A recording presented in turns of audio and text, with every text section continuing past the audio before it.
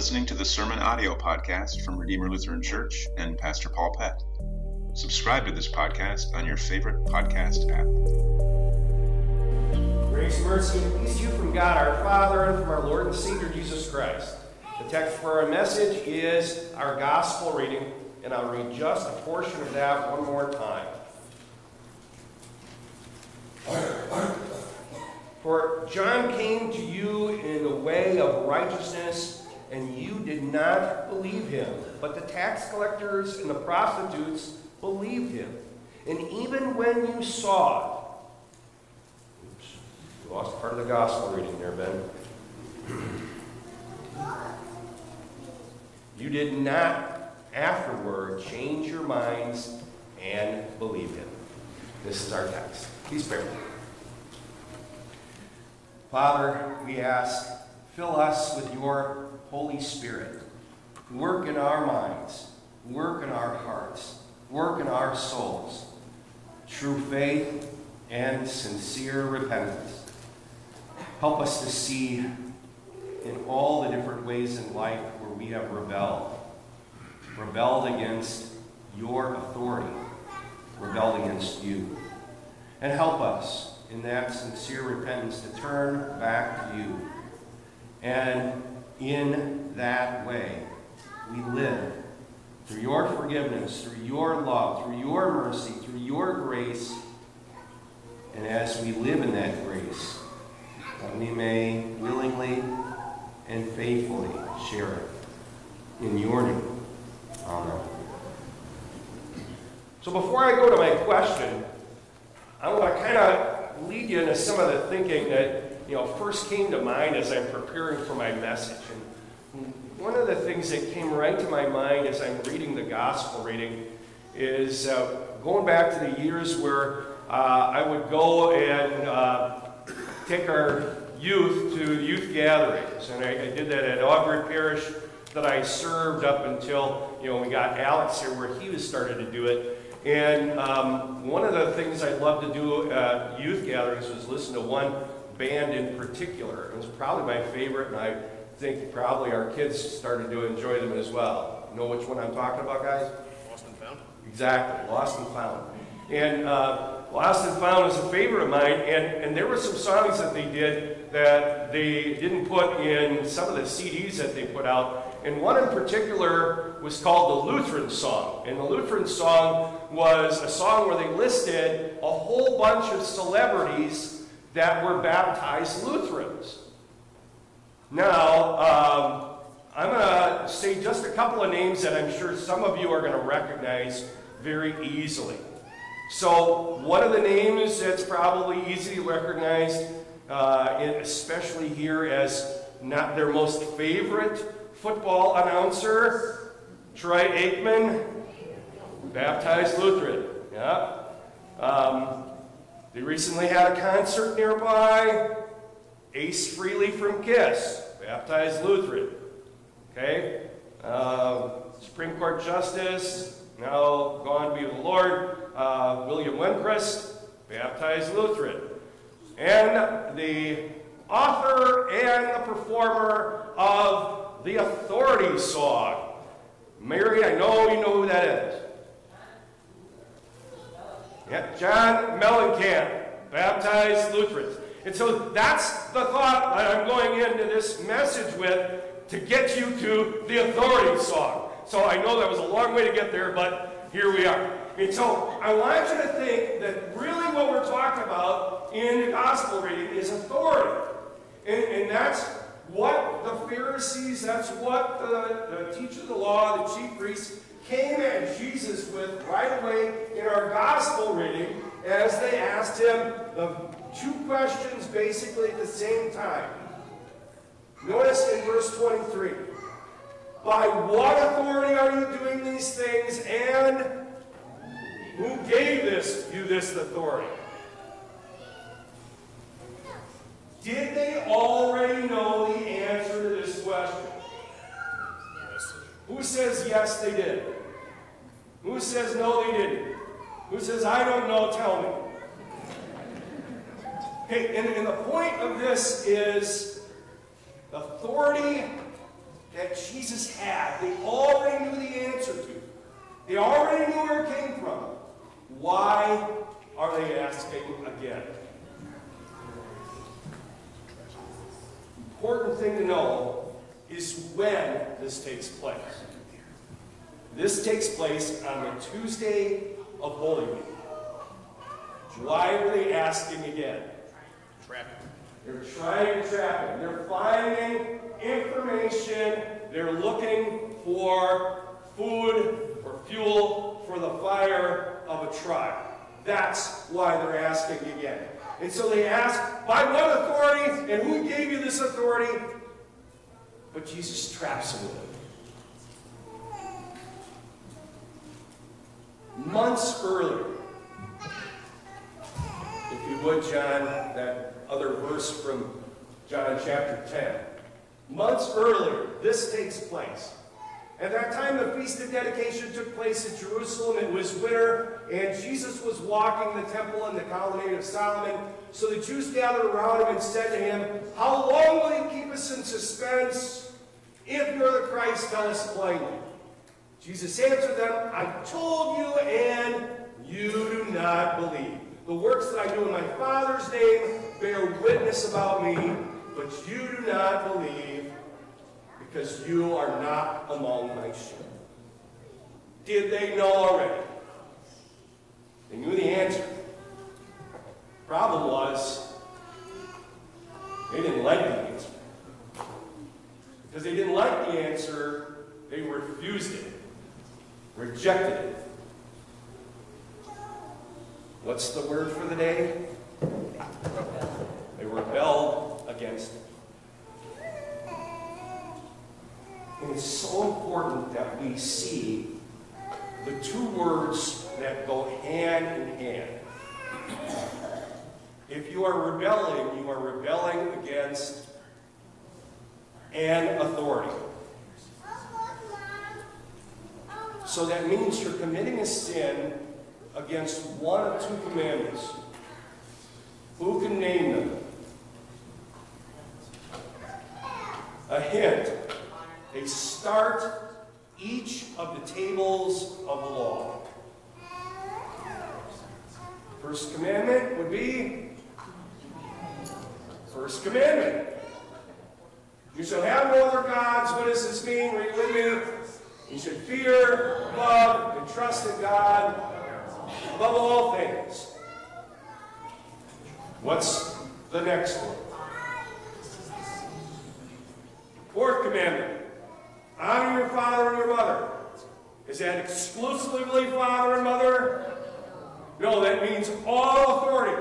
You would not believe how many people who have been confirmed Lutheran who do not know that. Includes all authority. But notice where it begins. It starts in the home. And don't let any governmental agency, don't let anybody from Washington, don't let anybody from Madison tell you different. It starts in the home. That's what God says. And as it starts in the home, we should fear and love God so that we do not despise or anger our parents or other authorities, but honor them, serve and obey them, love and cherish them. Why are we having all the problems we're having in our society right now? One word. Rebellion. They're not only rebelling against earthly authorities, but they're rebelling against God's authority. And so there's nothing different under the sun. They refused to recognize Jesus' authority because they didn't agree with it. And that's what we're seeing in our world today. I'm going to give you a couple of examples that you may, you may have may or not heard of in our news recently. How many of you heard about the revival that took place just a little while ago on the campus of Auburn University? Thank you very much. You guys got to read something other than national news. Get away from the secular, because they're not going to tell you this stuff. So there was a, a revival on the campus of Auburn University. Over 200 students came forward to be baptized. So they go to the little lake that's there on, on the campus grounds, and you know, numerous people from Auburn University, including the head football coach, helped to baptize these 200 plus students.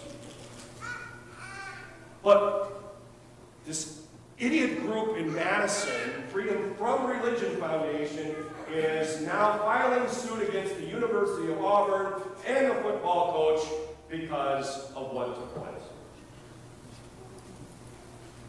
Example of against which authority?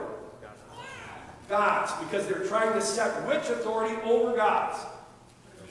Man's authority over God's. Next example.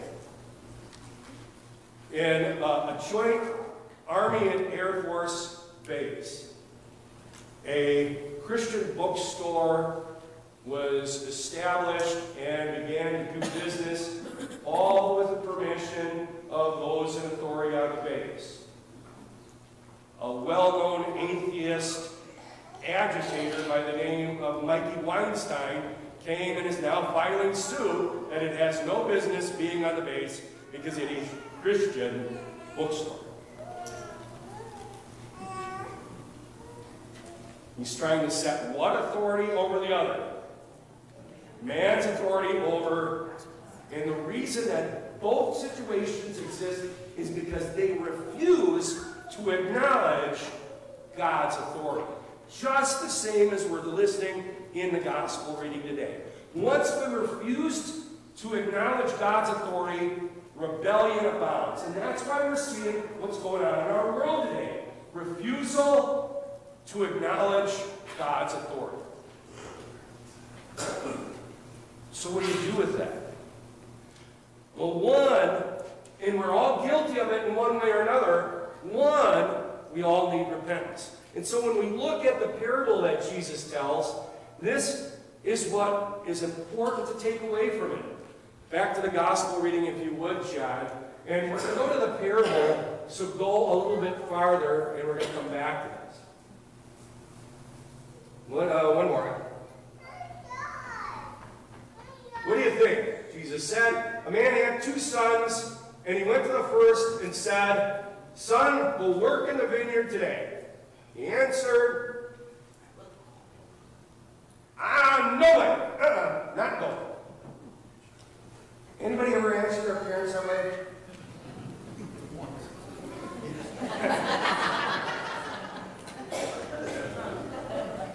you didn't get a patient response from mom or dad, did you?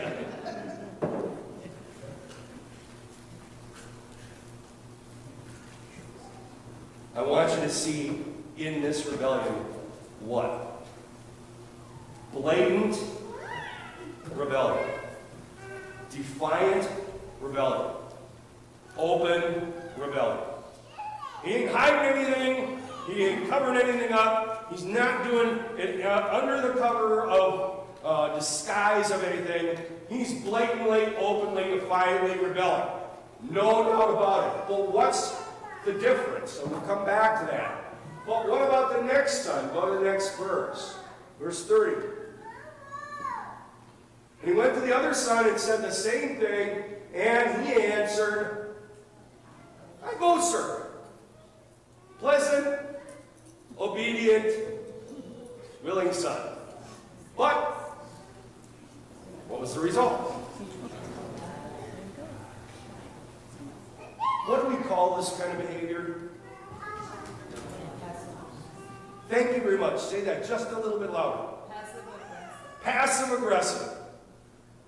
How many would like to be treated passive aggressively? Oh, yeah, I'll do that. And the problem is, are they both guilty of the same thing? Are they both guilty of the same thing? Initially. So what's the difference? Repentance. What accepted Finally, the truth of authority submitted in what? Out of repentance. The other, no. Why? Why did the other refuse? Why did the chief priests, after they knew the truth, refuse? Why? Go back, if you would, to verse 26, John. Notice what it said. No, you're right. 25 is fine. So when Jesus talks about the authority, he says, the baptism of John, where did it come from, the heaven or from man? And they discussed it. Notice what the conclusion was. If we say from heaven, he will say to us, then why didn't you believe him? And if we say from man, we're afraid of the crowd, for all they, they all hold John was a prophet. What's the problem here? Neither situation what? Acknowledges the truth. The truth is, Jesus is the Son of God. The truth is, the authority came from God. The truth is, John's baptism came from God. Neither choice acknowledges that. What stopped them from repenting? Pride. Does pride get in our way? I don't want to look bad. I don't want to sound bad. I don't want to be seen as bad. So, passive aggressive. You don't know I'm being bad. but I really am. I smile at you while I spit in your face. And the problem with that is it's disobedience. Mild disobedience. But what I want you to see is that Jesus is giving these guys two opportunities to turn and repent. He's still loving them. Not only does he confront them with this, but then he uses the parable as well to try to get them to repent. And so, what does he call us? First and foremost, we acknowledge the truth. The truth about ourselves, and especially our sin, and the truth about our Savior. This is the truth that we need to cover the truth of our sin. That's exactly what Jesus did. He submitted to God's authority, submitted to his will in absolutely every way, shape, and form as he came and lived among us. In his state of humiliation, he gave himself over the authority of his Father, carried out his will, suffered, and died. So that he could forgive our sins and give us life. So that he could make things right in our lives and with God then. And that's what we all need. A right relationship with God. And as we get that right relationship, it's only because He has reached out to us to call us to repentance. Call us not just to acknowledge the sin, but to turn. Did you hear the very last part of the Old Testament reading? Very last part of the Old Testament reading is the words that we need to hear on a regular basis because this is what we have to do on a regular basis. Verse 32 For I have no pleasure in the death of anyone, declares the Lord. Read it with me, the last line. So turn and live. That's repentance. Turn and live. So turn and live. Turn from your sin, turn to Christ, Turn to his love, turn to his forgiveness, turn to his salvation, turn and find life in Christ. In a world filled with rebellion and so much pride because I don't want to look bad in the face of others, the lack of repentance is astounding.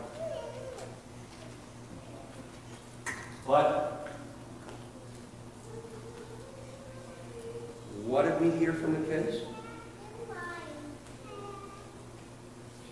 They knew the confession of sins. Maybe we need them to remind us. We said it just this morning. Let's go back to the beginning liturgy and the confession and remind John. As we, if, say it with me, even though it's my part, say it with me. If we say we have no sin, we deceive ourselves, and the truth is not in us. And let's go to the next one. But if we, God who is faithful in us, will and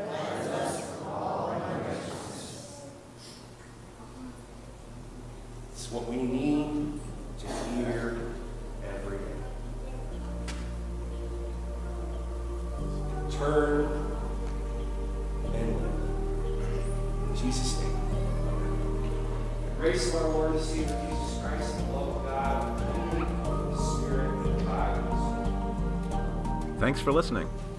At Redeemer Lutheran Church, our mission is to share with all people the good news of Jesus Christ, teaching faith and love. Learn more about our ministry at redeemerlutherangb.com.